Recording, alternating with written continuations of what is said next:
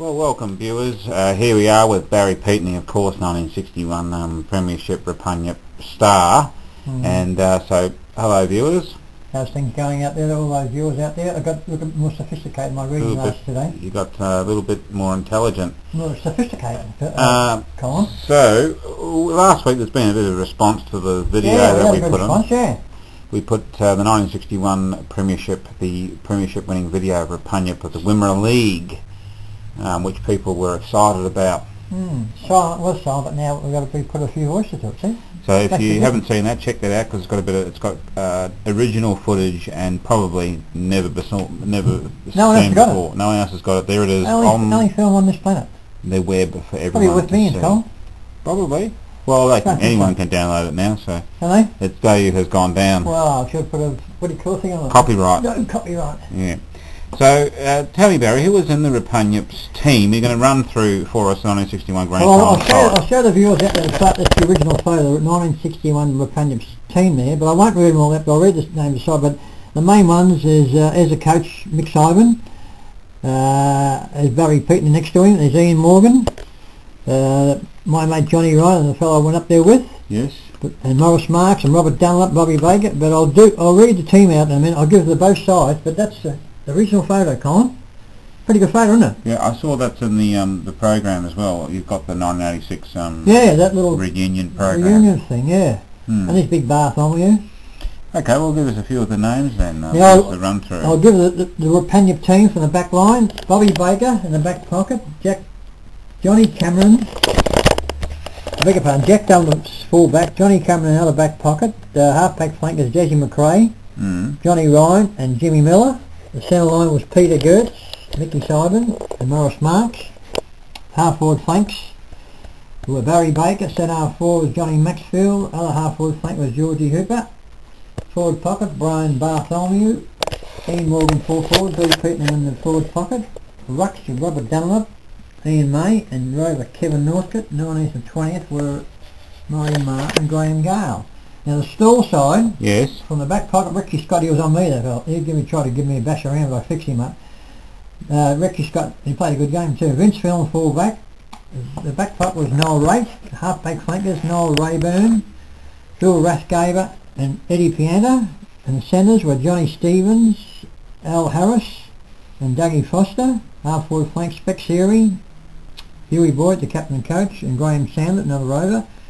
Forward pockets Billy Nolder, Ray Adamsole and Russell Freeland. The followers were Ken Beck, who played for Hawthorn, Merv Hayward, and Johnny Sandlett. And the reserves were Trevor Quarrell and Johnny Larkin. And there's a good lineup.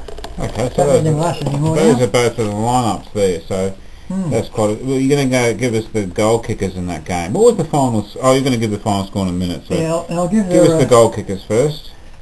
You can just read that out to the viewers while I'm fine. Uh, there's there's the, the, the, the comments before the game on the Friday night. Okay. And who was, you got to read, put the camera on down there and you can read it out. And uh, Okay, well, I'll just read it to the viewers. Kevin, Kevin Smith from Denball said, I would like to see Rupanyup take it off, uh, but Stawell's overall strength may be too great. Stawell's main danger is dynamic rovers Kevin Northcote, uh, okay, and Barry Peatling. mm, If um, if Stawell rovers can get big Ken's Beck's knockouts, then Stawell will be uh, home and hosed. And then Brian Hill from Jeparit, he said Stawell will be too strong all over the ground wrong, weren't they? and uh, was definitely the best side Jeparit played in the year. Stawell's biggest dangers would be Ian Morgan, Barry Peatling and Bob Dunlop. There These players will be effective if it's dry, but the weather won't worry Stawell. Well, they're both wrong, weren't they? But What, was the weather like? Perfect day. Okay. Did that help you? They won by nine goals, just got home. Did that help you being dry? Nah, didn't worry us. No. Play anyway. What, So- any, any weather. Okay, so you're going to give us the goal kickers. Yeah, I'll give the goal kickers, uh, Ian Morgan kicked eight. Uh, Kevin Northcote kicked four. Uh, where did I write the bloody things down? Just hold it. Yeah, and there's two to Brian Bartholomew and two to Peatling, and uh, that was the main goal kickers. But uh, and the final scores, Yep. the final scores I've got here I'll, I'll give you half. I'll give you the score quarter by quarter too. The first quarter, Rupanyup was three goals to still two three. Half time, Rupanyup seven four to four seven. Yes. Three quarter time, 12-5 Rupanyup to seven thirteen Stawell. And the last quarter, Stawell never scored. We kicked 18 goals, five, which is unbelievable kicking, to 7-13, 55 points, 130 to 55 points. And the umpire was uh, Alan Alan Hodgson. Hodgson. Hudson. He was a VFL umpire. Oh, yes. okay. Uh, and the crowd was 13,000 people, still a record, which is uh, unbelievable when it's 50 years old. I just want to draw attention to this um, here, Rupanyup Players Gallery, and it's like a um, a sort of rundown of all the different players, and, and um, Mick Simon got a few. Um, So who, who got the biggest coverage? Barry Uh, Read it out the viewers anyway. That's Says, uh, Barry Peatling Farmer played the old farmer, yeah. 36 games, first played 1960. Tenacious and fearless rover who marks well for his size, a nice kick and deadly around goals. Came back after serious injury at the end of the last season and finished third on the goal kicking list in 1961. Previous experience with Richmond thirds and seconds. Yeah, so wrap up. Sort of rap indeed. coverage. Now Well, just tell us, yeah, who the best players were And the best players for Rupanyup were Ian Morgan, Hmm. Johnny Ryan, Kevin Northcote, Mick Sybin, B. Peatling, Georgie Hooper and Robert Baker, Bobby Baker. Who uh, the 1961 best and fairest. The 1961 best and fairest was Johnny Ryan first, Brian Bartholomew second, and Barry Peatling third, which I should I think I should have been a bit closer than that too. But uh, that- so was that your best and fairest, or was it the club? I best? was our best and fairest. I reckon I should have nearly won the best and fairest that year. Okay. A What few, about a few people up there uh, in the Panic wasn't too happy with me, but uh, and I should have won in '62, but I finished second in '62. But uh, there's a few people, they know where they are. That uh, don't know what reason, but uh, anyway. But Johnny Ryan played well that year. We'll Had a good year. Um, so who won the Rupanyup goal kicking award? Well, just so it happens that Ian Morgan, who only played 10 or 11 games at the most, he finished up with 69. And caught yours truly, Barry Peatling, finished second with 60 goals. Hmm, that's not bad. Nine goals behind at the You had a few more games though.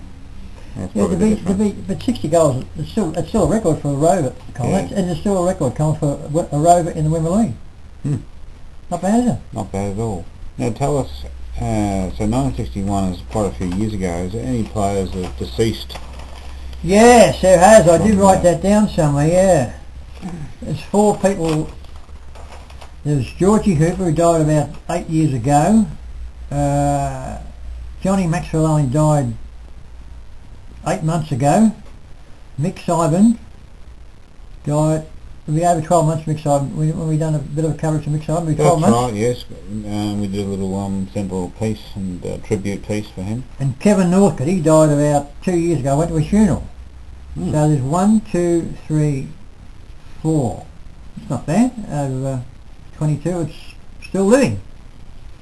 Hmm. Very interesting. It was. Now here's the final ladder of the season too we've got here. We've got Nhill on top with 60 points, 132%. Rupanyup finished second with 56 points, 104, the best percentage of the whole lot, 142. Stawell finished third with 128 and Warringtonville fourth with 123. Hmm. And the coaches were Mick Sybert who coached Rupanyup and Huey Boyd coached Stawell. Oh, okay, some good good facts here. Now, just tell us about this. We've got these um, There's a headline here, the, headlines here. The just- dilapidated paper, but uh, It's Rupanyup Stawell lacked power. Well, that's interesting because I remember reading in this other article here, um, well, not the other article, this other article over here, yeah, like it's going to be that they strong. said they were too strong and Yeah. too much power. So, How wrong were they? how wrong were they? So this is by Murray Wilson. This is a big article. This one. Who's those? Um, who's those That's players? Georgie there? Hooper taking a spectacular mark there. Played a good game that day, Georgie Hooper. And there's a couple of Stawell boys, but they, they said you're workmanlike, Colin Wilson. Do you know who Colin Wilson is? yeah. Used to play for us and he coached Hawthorn. He was a good mate of mine, Colin Wilson. Yeah. He's still up there. Okay, so He's still up in horses. oh, that's interesting. Tempers boil over is the headline here. That's the same one we saw in the video last Yeah, week's that's in the video. That's taken off my video. It is because that's the same photo. And I actually, I didn't start the blue, but uh, some other mug had a go at me, uh, having a go at Kevin Northcote, and I jumped in there and uh, Johnny Ryan jumped in and there was Huey Boyd and Larry Hart. There's a bit of a big punch up in the middle there, but there's no one reported. But they all come from everywhere. And this is from the Mail Wimmera Times. It's the loveliest day of the year. Yeah, that's, a, a Mario Lanza reference. yeah, that's the coach of Rupanyup, Mick Ivan. That was on the video too. And I must have taken that Oh, here's the coach. Where's the coach? Point in the middle. They carrying. Remember on the video last week? They were carrying him off. Who's the other fellow with the teeth in the He ear? just died last year. Russell Dunlop, Murray Dunlop. Murray just died Dunlop. last he year. related to Robert Dunlop? Yeah, and that's Mick's wife, Judy Simon. She was a good looker.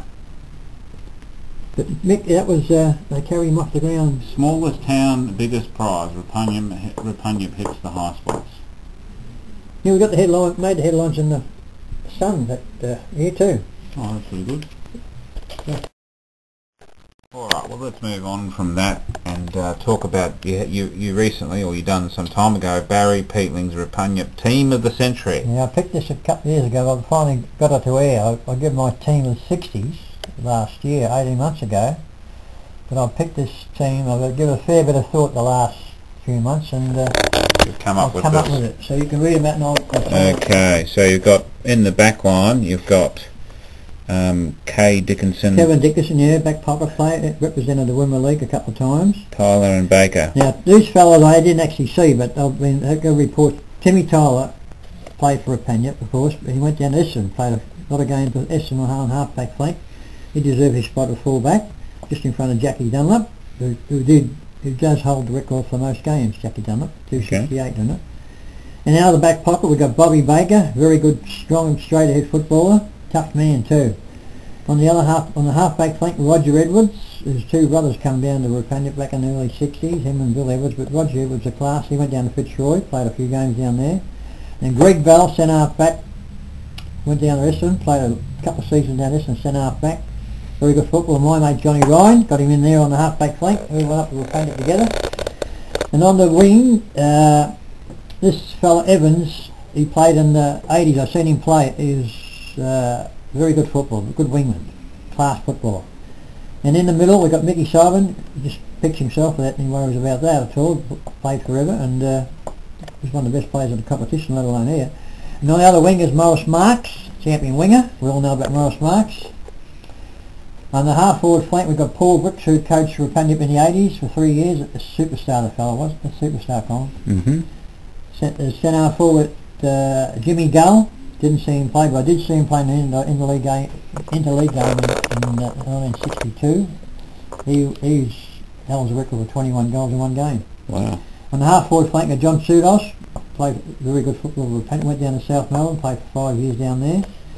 Other forward pack, we've got Kevin Northcote, my other rover. Everyone knows Kevin Northcote. The full forward, of course, is Ian Morgan. And in the forward pocket is Ian Morgan's son, Paul Morgan, who's he, he's kicked 1,300 goals Colin, Wow. in his career. 1,300 goals. That's a lot of goals, isn't it? In the ruck, we've got Robert Dunlop and Maxie Matheson. The row, we've got B. Peatling, vice captain. The emergency, we've got Dougie Matthews, Johnny Cameron, Brian Bartholomew, Kerry Sprate, Peter Gertz and Tassie Matheson. So That's my team of the century. And people might have a little few things to say about that, but feel free, feel free. So we have a fair bit of coverage here of the. Um, Well, it's a good thing because Rupanyup back in, in the early six, in that, in that 61 grand final, it was the town was packed. There was 750 people in the town that night. hmm. Oh well. I never bought a drink for two weeks. Wow. You just Ah. have drinks for you all the time. But it was a very good. Uh, of course, the following year we just got beaten. the Premier- We should have won three in a row. Yeah. Now, um, you're going to give us some news about Chelsea. Yeah, I, I got some. Well, not a good mate. It's true that uh, there They just had the um, the board meeting or the, the, the annual AGM, the AGM. but I didn't go over. it. I was coming back after Yesterday. I got the paper, and I was seeing a couple of fellows come out, and I said, "What's going on?" So the new president is Graham Donnellan, who's Heath and Brett and Paddy Donnellan's father. The coach is called Paul Erica, Paul Erica, who comes from the Frankston Dolphins. Frankston Dolphins in the VFL. I think he's a uh, fitness fitness coach. I think, not sure, but it's all done now. Either and Stephen Stevie Gardner's gone coaching the second, I think. Mm. Gone promoted the 18s to se- the second. That's interesting. Well, he's done a good job with the under 18s. See. So that's I don't know when they're going to start training. It'll have to be probably another couple of weeks, I reckon. So it's a bit it's a bit happening. So it's exciting. So um, it w- will be Nothing like a bit, new bit of blood into the club. Come You'll on. be getting some updates from Barry here through in the next six months. We'll be getting periodical Next updates few weeks, come on. Next few weeks, yeah. and updates until the season starts. I presume they'll be they'll have these recruits already sort of locked in or whatever. I mean, we've got to have at least four or five recruits Hmm. to be competitive this, this year, next year. Well, Well- hopefully we'll, uh, We'll look forward to that. So that was, uh, I've been looking forward to doing this for a Panyip sort of, uh, we've done the video last week and I give the, the punters out there a bit of a knowledge who was playing against each other, who won the goal kick and what scores it was and who umpired and All the updates. very good. Well, that's goodbye from me. Goodbye from me, goodbye from me and see you in the future.